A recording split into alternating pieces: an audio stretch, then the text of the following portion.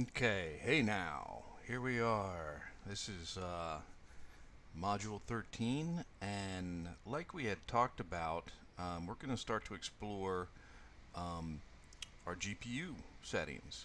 So I'm just kind of going over here on the screen some of the things I've changed in between that last scene and this scene. Now everything in the scene is the same, okay, so if we go ahead and kind of kick off a render here, this is with the GPU. So as you can see here at the top we have that RGB uh, denoiser. And what it does is it it gives you a a preliminary image of what the scene is going to look like when it's fully rendered, or at least something pretty close. Now it still takes a little time to render, but it allows you to develop better by getting a sense of how that scene is going to look. So let's get into this a little bit more um, with the GPU settings, um, like I had talked about previously, this is with the RTX, the 26, um, sorry, 2060, the GeForce um, GPU. And what I'm going to do now is I'm going to come up here to create, and I'm going to create a spotlight. Okay, and the spotlight's pretty powerful, and it only comes in the Maya lights, and that's why I'm in this menu instead of the Arnold menu. So if we look here, we want to come down here and just choose this spotlight um, you know, node here for our light. Now spotlights can be tricky, okay? When they come into the scene, they're very small, so we're going to have to scale them up a little bit. And I'll probably just do something like, um, let's see here, maybe 10. I think that's good enough. Yeah, that looks pretty good. So I'll go ahead and click on it and then we can start to manipulate this a little bit more. And I'm going to go ahead and translate it up and kind of move it in between this sphere and this cube. I wanted it in this area here. Now one of the troubles with Spotlight is how do you know where it's pointing at? You know, where do you know the light is going to? And one way to do that is within our panels. We come up here to panels, okay? And if we select this look through selected, because our spotlight was highlighted green, that means it's selected in the scene. And now when we're looking through it, it's basically like, um, you know, a pair of binoculars almost. So we can just navigate like we normally do by holding down left click and alt and we can pan around okay and this actually aims the spotlight of you know where that light is going to be distributed to right in front of us kind of like a sight on a gun. I hate to use that analogy but you know that that is kind of like what it is. And I'm gonna aim it here at this cube alright and next I'm gonna go back out of my look through and back into my perspective.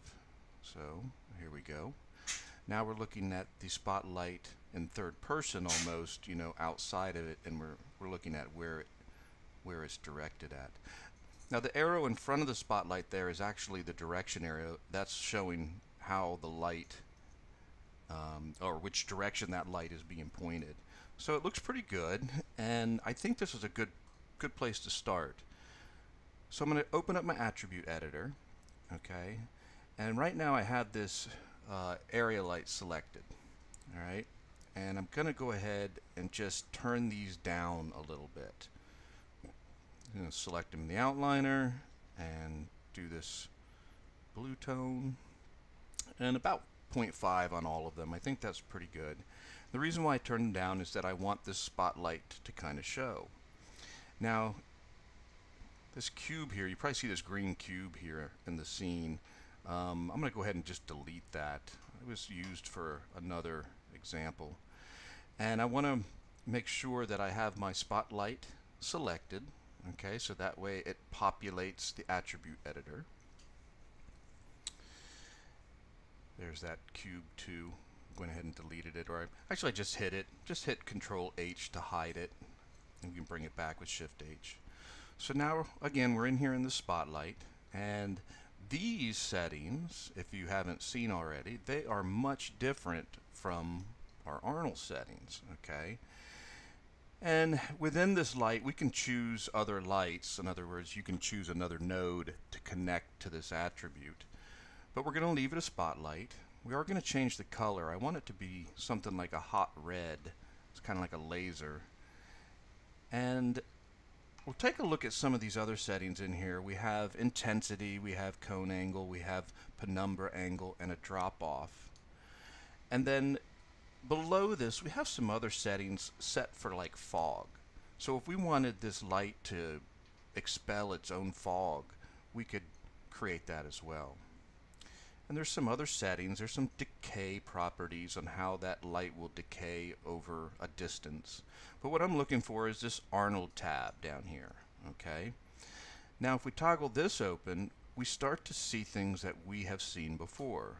In other words, we have um, an exposure, we have samples, we have radius, we have this normalized checkbox.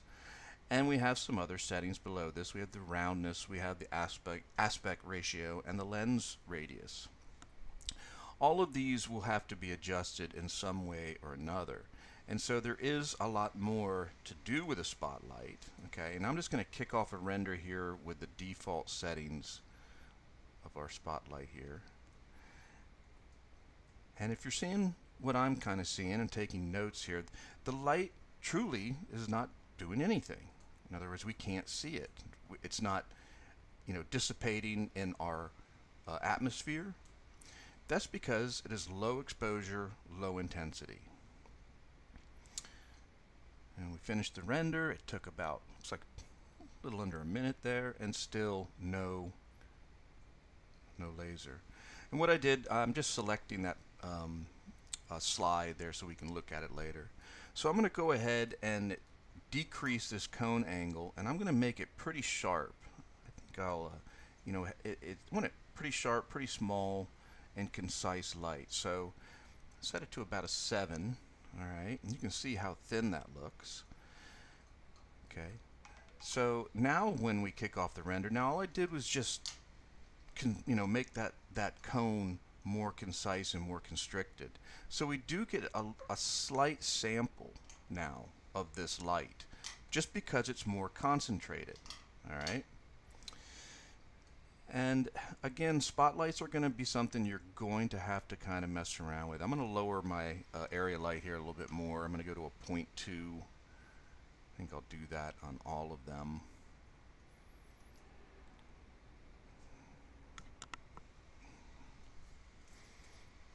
That's a little better. Okay.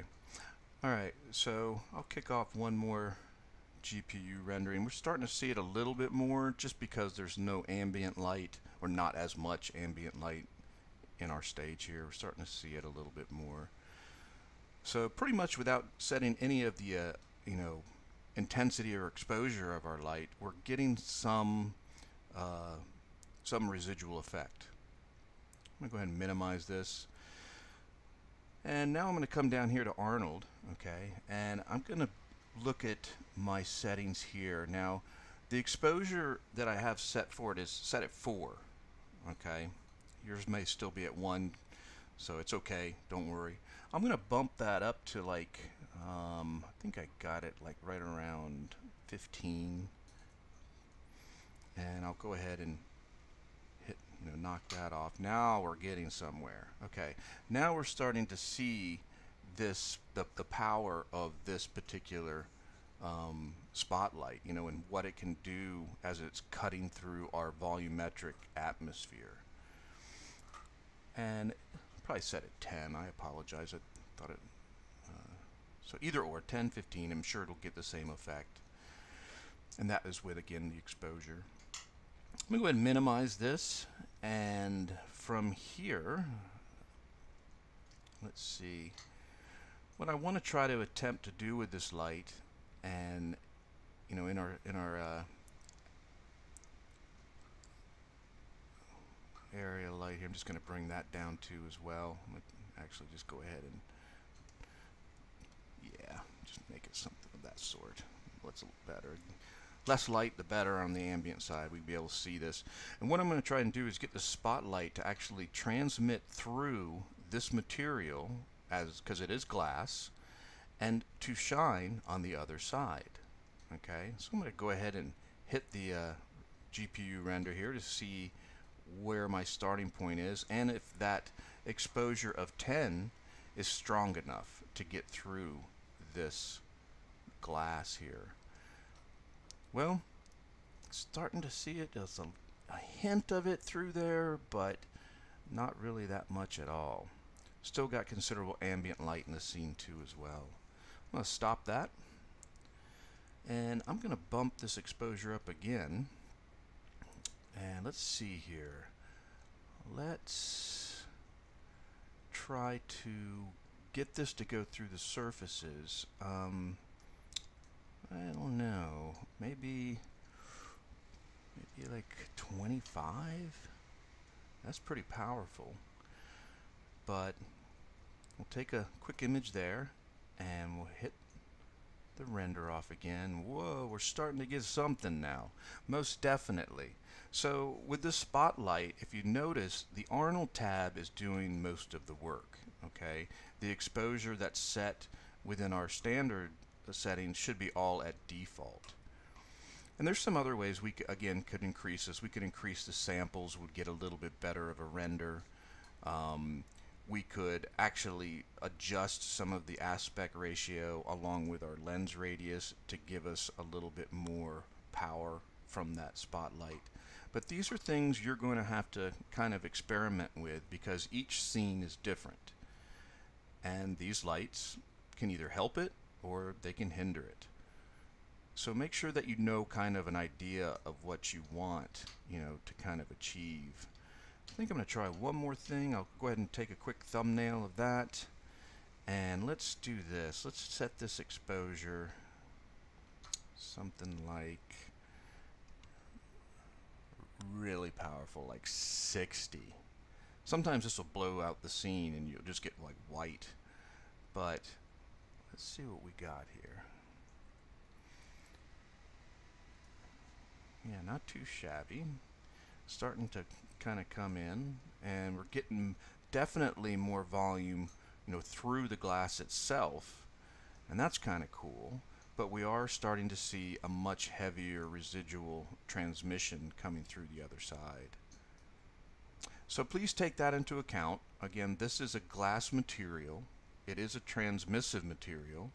It is in our presets, and we're going to start covering you know more of that in the next uh, few tutorials here. We'll start talking about materials and their abilities and you know what their limitations are and and you know what their benefits are as well. I'm going to minimize this.